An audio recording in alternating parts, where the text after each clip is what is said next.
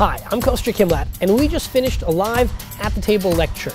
We had an amazing time. We talked about the balance of art and business. I also got to share with you two of my personal creations. What happens is these are, are flammable, so they're combustible, but it's renewable for safety's sake. So there you go. One that you can do on close-up and one that you can do on stage for over a thousand people. Which card did you think of? Was it the six of spades? Good. Because if you look at the card that was found by our detective, indeed it is the six of spades.